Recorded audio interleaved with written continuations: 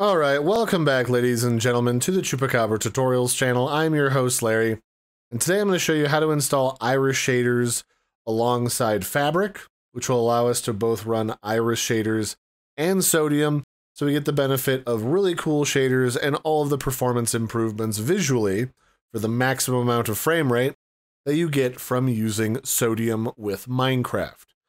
Um, previously, we would have done this by manually installing Fabric, we don't need to do that. Sodium and or Iris shaders will take care of that all for us by installing both Iris, Fabric, and Sodium all in one go. And then we can go over here and grab some shaders from our favorite shader websites. So the first thing we're going to start out by doing is downloading Iris shaders. So go ahead and go to the link that I provide in the video description below, and then click on the Iris installer here and download the universal jar. I've already got one stashed away in an Iris Shaders 2025 folder, so I don't have to re-download this, but go ahead and download that anyway.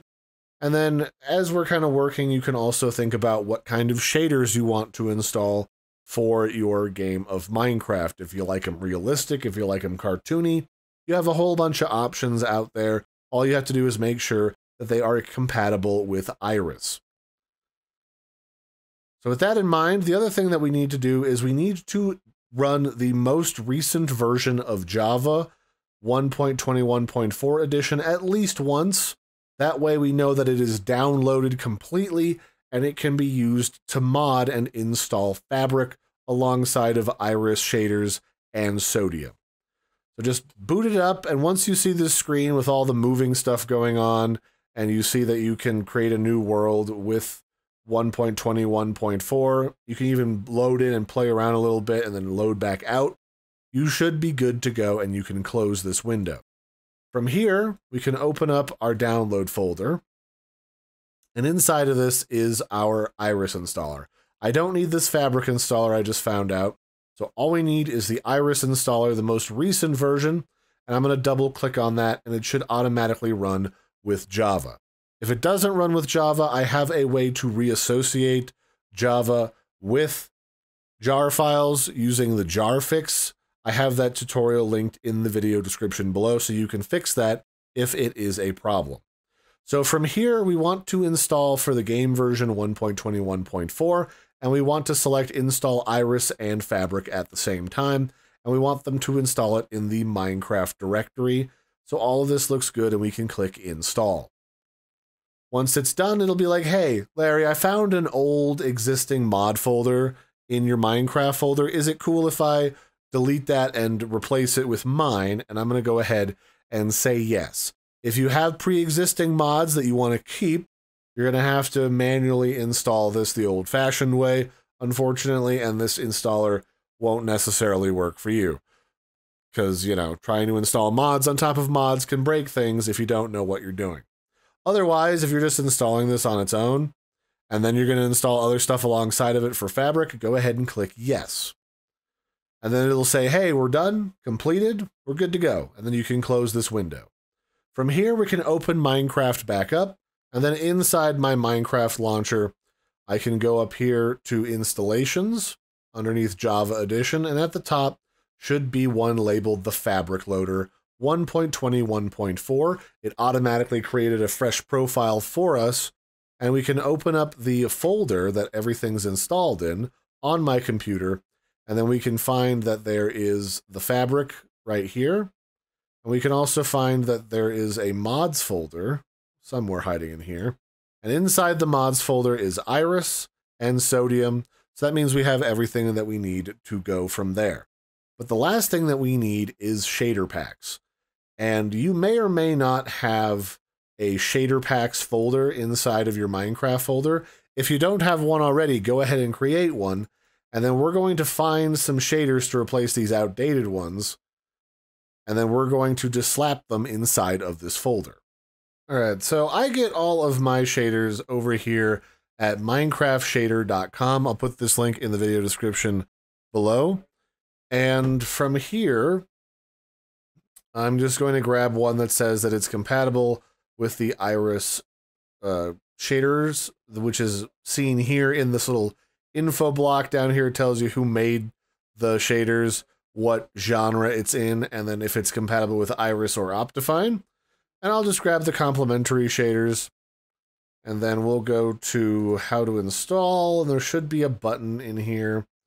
Jump to download section, and in four seconds, I'll be able to download the complementary shaders.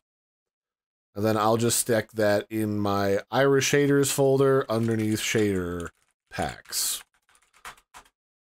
You can download more than one of these uh, if you want to try a few of them. You can easily just switch between them inside of Minecraft once you've got the download link. And then once those are both downloaded, we can just open up that folder that those are both stored in. We can copy these. And we can just paste them directly into the shader packs file inside of the Minecraft folder. If you don't have a shader packs folder yet, as a reminder, you can literally just make one and call it shader packs and Minecraft will detect it just fine. Once you've done that, you can close these folders and you can close this Minecraft window. And then you can just launch the Fabric Loader 1.21.4. It'll also warn me, hey Larry, just as a heads up, this is a modded version of Minecraft. Some funny things might happen. And I'll be like, that's fine, I understand. And then I'll click play. This is uh, important because different mods, if they conflict with one another, can do things like corrupt your save files. So it might be a really good idea if you're not used to modding Minecraft to look up how to back up your saved worlds files in Minecraft just to be sure. So once all that's done, you should be able to just create a new world. I'll just name mine like, you don't have to create a new world. You can use an existing one, but I'm going to do this just for the sake of the video. Shader packs. And then I'll make this into creative mode. And I will create that world. And then once you've got this open, let me make this window a little bit bigger for everybody. Once you've got that open, you might notice that everything looks just like normal Minecraft. And that's not really that cool.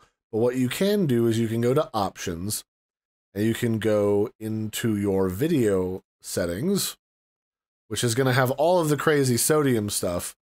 But you can go to shader packs at the top tab at the top, and you can go to like Sildur's vibrant shaders, and then you can apply that, which might lag your computer out for a second. And then once you're done, oh my googly goodness, look at all those crazy shaders. Makes everything look really dramatic and cinematic, like I'm inside of some kind of action movie in a jungle. And then you can easily, by going back to options, back to video settings, at the top here, you can click shader packs and you can switch between any shader pack that you have installed by just dropping them into that shader packs folder. You can just quickly click between and change between any of them that you want to, and it will allow you to test out which ones you prefer. And there's a whole bunch of different varieties of shaders from cartoony to realistic to fantasy to sci fi. So you've got a whole lot of stuff, provided it's iris compatible, to play around with and see what you like. And you can find them from a number of different websites, which I will highlight in an updated video for 2025 after this one goes live, so stay tuned. And that'll be it for this one, ladies and gentlemen. This has been how to install Iris and Fabric and use it with Sodium to get all these sweet shaders and all of that really great performance boosting power at the same time. I hope you found this helpful. I've been your host, Larry. Don't forget to like and subscribe, and I'll catch you next time. Bye, everybody, and have a good one.